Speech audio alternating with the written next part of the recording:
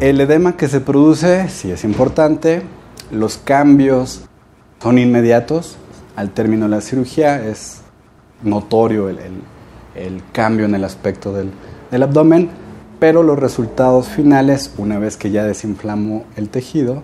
más o menos son de 8 a 12 semanas después de la cirugía.